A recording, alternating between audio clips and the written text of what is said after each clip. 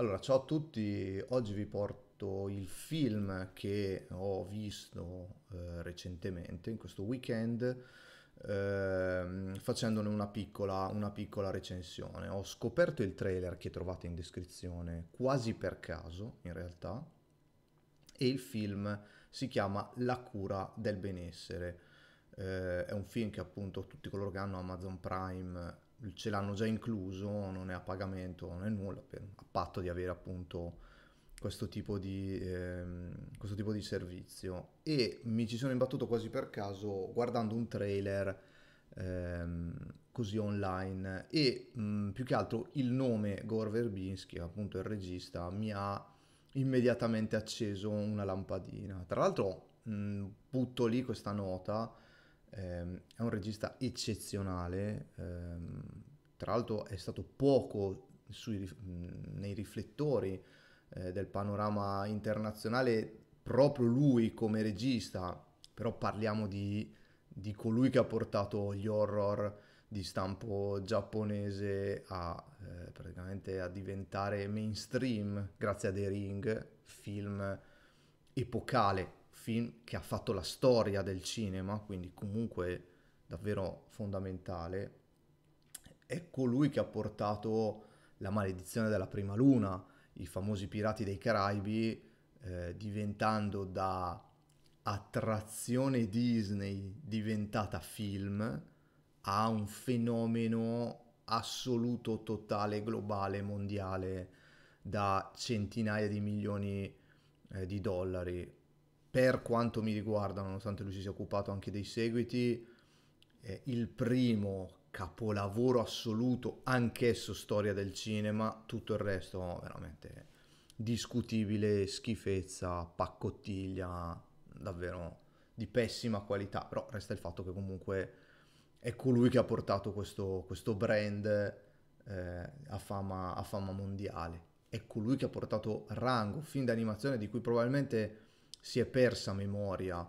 eh, storica, però resta il fatto che gli ha portato il premio Oscar come miglior film, quindi stiamo parlando comunque di qualcuno che eh, è di sicuro da guardare, da tenere in considerazione quando, ehm, quando fa un lavoro, quando decide di portare qualcosa al cinema.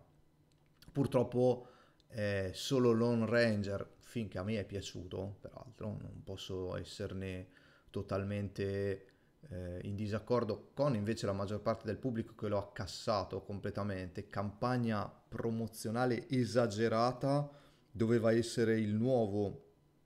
Pirati dei Caraibi ehm, e invece fu un flop al cinema ehm, e chiuse lì anche questo tipo di eh, tentativo di portare un brand nuovo lato, lato mainstream. Forse anche pensando che a volte il pubblico sceglie qualcosa di nicchia per portarlo a livello assurdo e quando invece si studia a tavolino eh, il progetto mondiale poi la cosa lascia un po' lì. Però chi se ne frega, nel senso vi ho, vi ho detto tutto questo perché eh, ci tenevo a, a, fare questa introduzione su un regista di caratura così importante come eh, Gore Verbinski e devo dire che invece La cura del benessere è un film abbastanza banale, usere, non dico pessimo perché non è vero, eh, però è un film abbastanza dimenticabile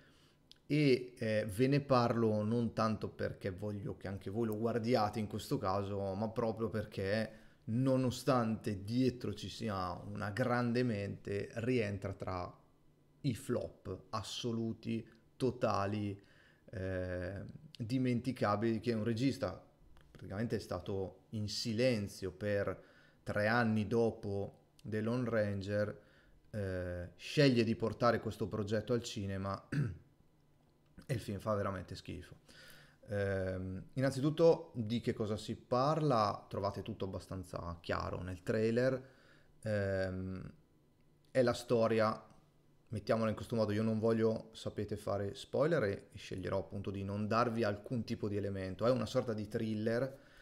eh, che si basa quasi tutto su, ehm, su una sorta di indagine, ovviamente la persona, il protagonista non è un detective, non è un poliziotto, ma è tutto basato su una sorta di intrigo eh, da svelare eh,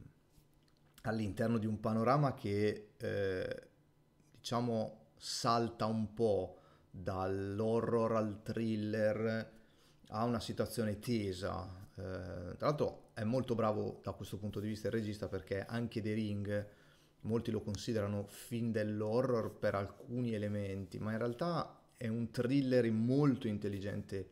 riesce a mettere tensione senza spaventare necessariamente lo spettatore. Qui invece eh, è un progetto stanco, eh, anche perché la durata del film è inutilmente lunga, eh, si poteva chiudere tutto molto prima eh, e nonostante delle inquadrature eccezionali, il regista fantastico, ripeto, le migliori tra l'altro purtroppo le vedete nel trailer, ce ne sono anche altre, lui davvero riesce a posizionare la camera in modo tale da insegnare qualunque tipo di spettatore cosa significhi essere un grandissimo regista, su questo è da concederglielo sempre, eh, però resta il fatto che comunque è una trama, prima di tutto, incredibilmente stanca. Punto secondo, eh, a metà film, e non penso di essere la persona più sveglia del mondo, avevo già esattamente capito come sarebbe finito, ma non più o meno, esattamente come sarebbe finito. Cioè lui eh, il regista semina alcuni elementi per cui è palese come il film sarebbe andato avanti, anche perché ormai noi siamo in un'ottica eh, di pellicole per le quali siamo già pronti a qualsiasi cosa, ovviamente ripeto non farò spoiler di nulla, però noi quando guardiamo un film sappiamo che qualsiasi tipo di pellicola noi stiamo guardando potrebbe improvvisamente sfociare in uno stravolgimento di qualsiasi tipo di genere, eh, che ne so, da una commedia a un dramma, da un horror a un, non so, fantascienza, qualunque cosa, eh, proprio per cercare di, da un certo punto di vista, di stupire il, eh, lo spettatore, dall'altro proprio perché si cerca sempre di trovare qualcosa di qualche spunto innovativo. E quindi voi quando vedete questo film ehm, già partite dall'ottica che potrebbe evolversi in qualsiasi modo. Quindi ad un certo punto nella, nella trama vi dicono una cosa e voi dite ah ok quindi il 99% finisce così. Ed effettivamente finisce proprio in quel modo. Quindi anche il climax telefonato talmente tanto che mh, mm, boh, non lo so, non, non, mi ha fatto davvero impazzire. Inoltre, parliamo invece del, degli attori. Attori, tra l'altro, fenomenali. Ehm, l'attore principale, adesso spero di pronunciarlo correttamente, che si chiama Dane DeHaan, eh, lo trovo fantastico. Io ogni volta che lo vedo eh, si è anche occupato di Valerian e altri progetti, non, magari non sempre di super spicco, eh, però a me è davvero simpaticissimo, lo trovo un attore fantastico ehm, e tra l'altro in questo film in alcune situazioni vi fa dire se dovessero fare un nuovo Batman io tantissimo lo vorrei come Joker perché si presta alla perfezione per essere uno, di, eh, uno dei cattivi da, diciamo, da antologia di Batman. Ma vabbè, anche questo lo, lo, chiudiamo come parentesi, però ci tenevo a dire che lui è davvero, davvero molto bravo.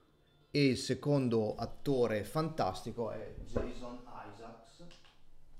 eh, che recentemente magari voi avete visto anche in ehm, Voyage, le, scusate, la nuova serie di, di, di Star Trek, eh, davvero, davvero molto bravo, eh, generalmente sceglie di fare eh, parti da, da cattivo, ehm, è un cattivo, a volte non è cattivo, a volte fa sembrare di essere cattivo, però insomma eh, è comunque un personaggio eh,